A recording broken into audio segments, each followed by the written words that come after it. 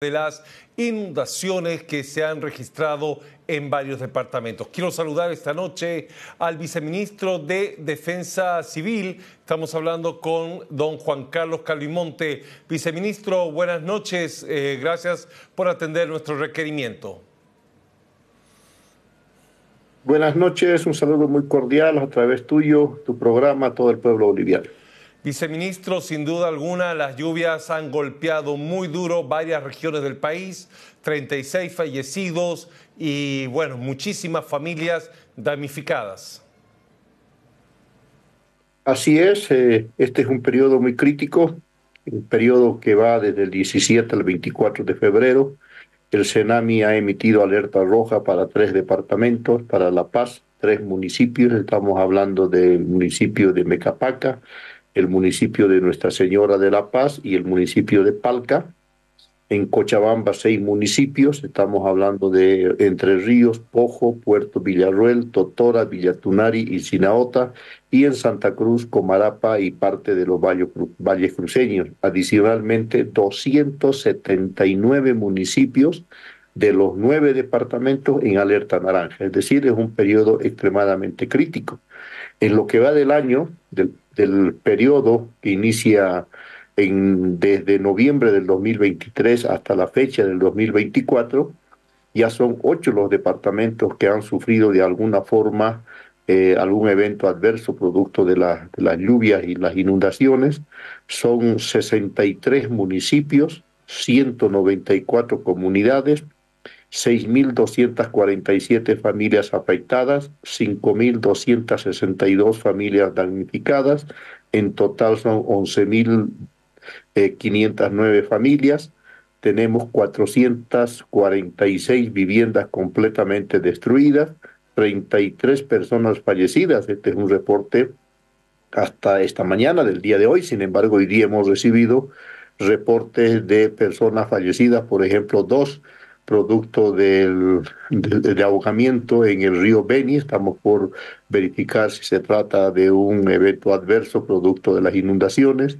Otros fallecidos tenemos en Potosí, en Tinguipaya. Otros fallecidos nos han reportado en el municipio de Villavesia, en Chuquisaca, de manera que una vez que verifiquemos si estos fallecimientos son producto del desastre natural, obviamente que la cifra de fallecidos va a llegar casi a 40 personas fallecidas. Eh, se ha conocido particularmente en la sede de gobierno, La Paz, dos hechos, uno en la zona alta de Sopocachi y otro en Achocaya que cobró lastimosamente la vida de eh, una mamá y sus dos hijos. ¿Estos eventos que han ocurrido pudieron ser prevenidos?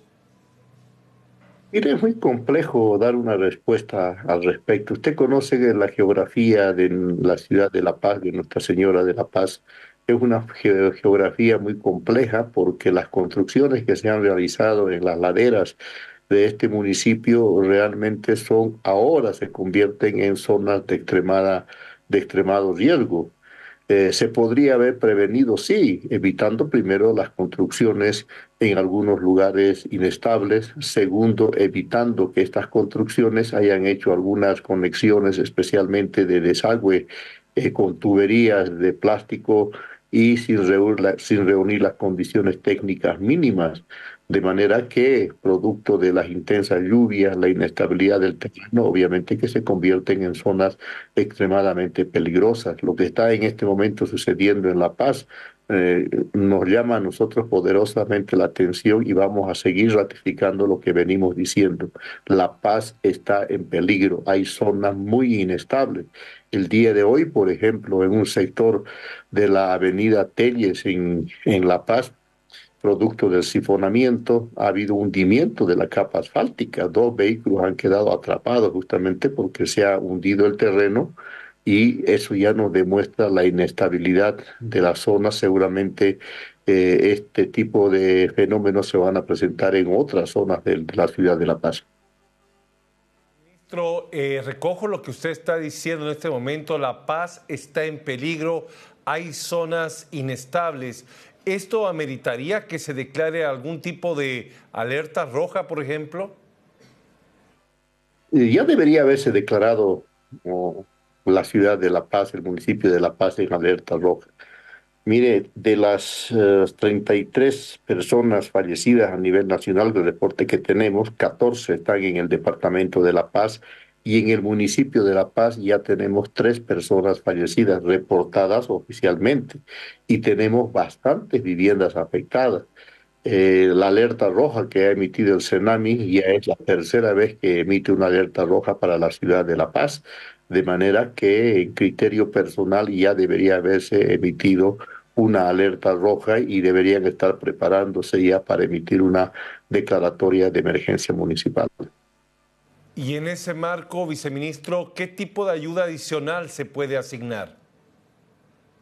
Por la ley marco de autonomía eh, existe y además por la ley 602 existen eh, competencias exclusivas delegadas a los distintos niveles, en principio a los gobiernos municipales, a los gobiernos departamentales y obviamente al nivel nacional. Sin embargo, para evitar esta burocracia administrativa, el nivel central ha tomado dos medidas importantes. La primera, crear el Comando Conjunto de Respuesta a Eventos Adversos en las Fuerzas Armadas, de manera que nos permita intervenir de forma directa, de forma directa, sin necesidad de que exista ningún tipo de declaratoria en ninguna parte del territorio nacional, porque las Fuerzas Armadas se rigen bajo mandato de la Constitución Política del Estado y bajo su ley orgánica de las Fuerzas Armadas, de manera que están por encima de una ley. Segundo, el presidente Lucho ha instruido que los distintos ministerios hagan los esfuerzos suficientes para poder llegar con ayuda humanitaria en el momento más corto posible, sin esperar también las declaratorias de emergencia ni desastres municipales ni departamentales, y es lo que nos está permitiendo intervenir.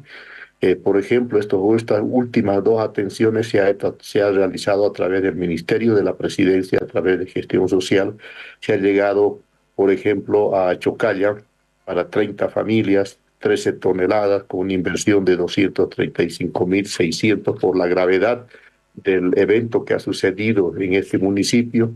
Acabo de retornar de la ciudad de Oruro, ahí también producto de las lluvias han habido 100 familias damnificadas, se ha entregado 7.42 toneladas de ayuda humanitaria con una inversión de 272.660 bolivianos. Estos recursos salen exclusivamente del Ministerio de la Presidencia. Para finalizar, de acuerdo a los informes que usted tiene, ¿cuánto tiempo más durará la época de lluvias eh, que están golpeando en este momento a diversas regiones? El CEDAMI ha pronosticado lluvias con intensidad alta en algunas regiones, incluyendo el mes de marzo. Es decir, que todavía tenemos eh, casi 45 días que eh, Bolivia va a soportar intensas lluvias en algunas regiones de los nueve departamentos. Viceministro, muchas gracias por haber estado esta noche Detrás de la Verdad y estaremos atentos a las tareas, a las tareas que desarrollan para, sobre todo, proteger a las familias bolivianas o, en todo caso, asignarles, ayudarles con aquellas vituallas, con alimentos en caso de, lastimosamente, algunas pérdidas que se generan, eh, sobre todo en los lugares que están próximos a cerros eh, con deslizamientos o zonas de inundación. Muchas gracias, viceministro. Buenas noches. Muchas gracias a ustedes y sin lugar a dudas vamos a seguir trabajando en esa línea porque es el mandato que nos ha dado el presidente Lucho Arce. Buenas noches. Buenas noches, viceministro.